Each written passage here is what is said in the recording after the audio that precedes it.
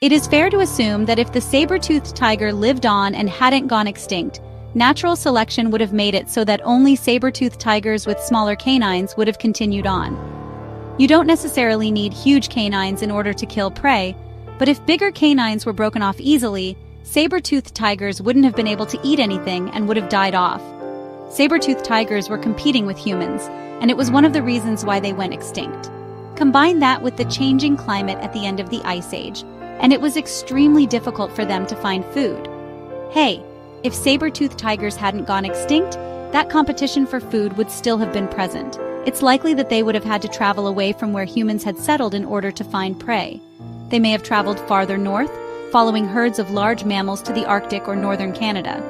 Either that, or they would have had to change their eating habits. Perhaps they would have resorted to eating humans instead of large mammals. Humans were still prevalent, large mammals were not.